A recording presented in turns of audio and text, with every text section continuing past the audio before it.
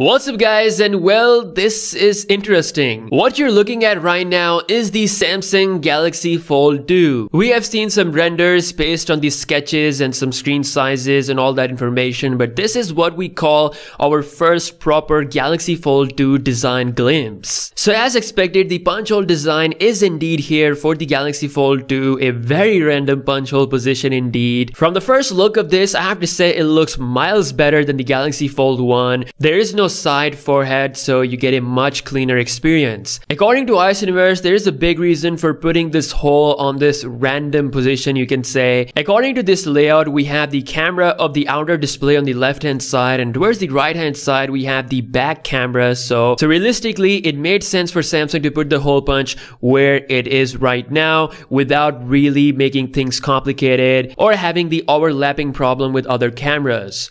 Now the hole punch itself is not as small as the one on the Galaxy Note 10 or on the Galaxy S20 family. It looks more similar to the size of the Galaxy A8s which was the first punch hole device from Samsung. According to Ice Universe, the actual bezels are around 3.8mm which makes them even smaller than the iPhone 11 Pro Max which sounds absolutely crazy for a foldable phone. All in all, I have to say the Fold 2 looks superior in every way, in every form over the Fold 1. Now there is another foldable smartphone leak that could be the Galaxy Fold Lite model. It is based on one of Samsung's latest spit-in showing off the old cameras and smaller outer screen. According to Ross Young, Samsung has several Galaxy Fold models from last year, so Samsung could be reselling them and rebranding them with a bit of design change with older specs but at a much affordable price and call them Galaxy Fold Lite. But that is just pure speculation. The Fold 2 is the one that is coming really really soon alongside with the Galaxy Note 20 on August the 5th. Let me know in the comments what you think about the design. Also in the news, Ice Universe confirmed that the 100x zoom is dead. We mentioned that before. It's gone. It's forever gone. Okay, maybe it might come back in the future, but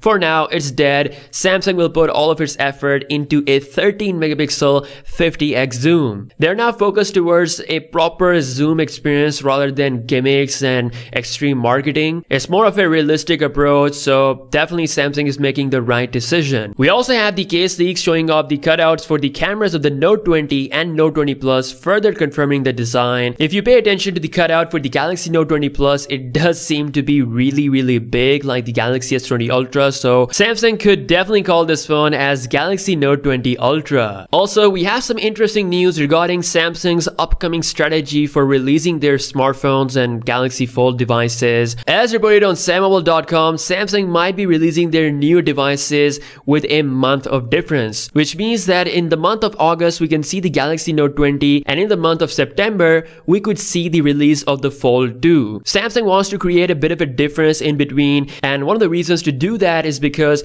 they want to compete with Apple. They don't want to release everything at one point. They want to spread things across. So the month of August could be for the Galaxy Note 20. The month of September could be for the Galaxy Fold 2. And then the month of October could be for the Galaxy S20 S20 Fan Edition. The S20 Fan Edition is going to be like a Galaxy S20e, the most affordable S20 phone of all time. We don't know about the specs, but it's most likely going to pack a flat display with Snapdragon 865 chipset and a possible 120Hz display. All in all, things are looking exciting. A lot of stuff is coming and planned for the second half of 2020. Let me know your thoughts regarding the design of the Galaxy Fold 2. If you think that the Galaxy Fold 2 has the best foldable product design out there, then slap a like because that is something that I think as well. If you guys are new here, be sure to subscribe and I'll see you guys in the next one. Peace out.